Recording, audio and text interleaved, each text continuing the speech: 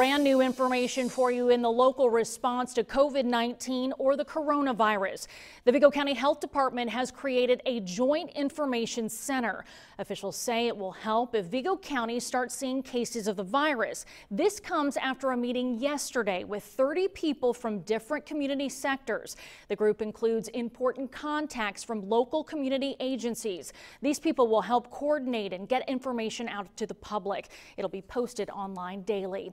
We've reached out to the health department. We hope to have more information for you on this new development tomorrow.